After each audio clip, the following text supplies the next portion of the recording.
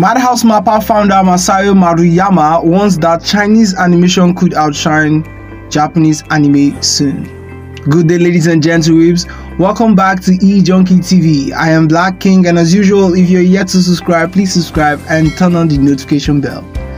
Masao Maruyama, who is a big name in the anime industry as the co-founder of Studio Madhouse, Mappa and M2, was published on the Japanese Times saying that Chinese animation known as Donghua will soon overtake Japanese anime known as anime. He further stated in the published article that in Japan, people are no longer trained in animation, and the only reason China hasn't quite caught up with Japan yet is because of a bunch of restriction on free expression there. Uh, although we can't say clearly what he means by Japanese people are no longer trained in animation, or if he's just outrightly calling them lazy but he's worried that pushing for an anime hit for every project has made the industry lose sight of its creativity and at this time doesn't necessarily outshine animations produced by Disney.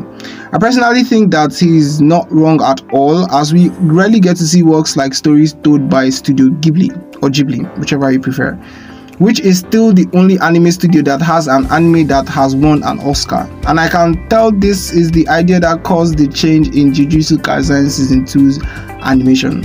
Also, I love the little job at Disney's animation. You know, you gotta put them in their place. Kind of like work on yourself before you say things like Korean works are better than Japanese works. Obviously, these are my words, so. Uh-huh. But Masao Maruyama is concerned that Japan is looking more to kawaii characters and money spinning genres, and that the industry isn't fostering the next generation of talents, where China is investing hard into young animators, and that if China gives animators the freedom to create what they like, the country's animation industry will quickly rival and take over Japan. Currently, Maruyama is producing Astro Boy that will be distributed by Netflix later this year. So tell us at eJunkie TV what are your opinions on the topic.